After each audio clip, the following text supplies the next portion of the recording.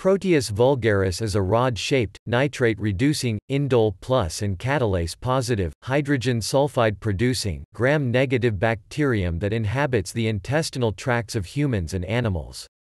It can be found in soil, water, and fecal matter. It is grouped with the Enterobacteriaceae and is an opportunistic pathogen of humans.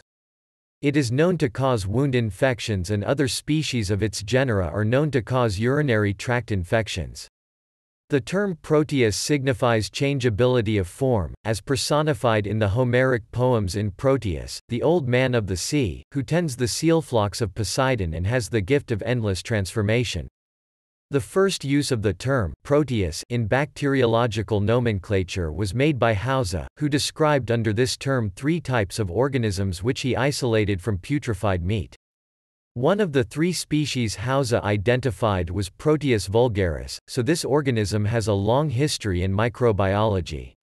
Over the past two decades, the genus Proteus, and in particular P. vulgaris, has undergone a number of major taxonomic revisions. In 1982, P. vulgaris was separated into three biogroups on the basis of indole production. Biogroup 1 was indole negative and represented a new species, P. penneri, while biogroups 2 and 3 remained together as P. vulgaris.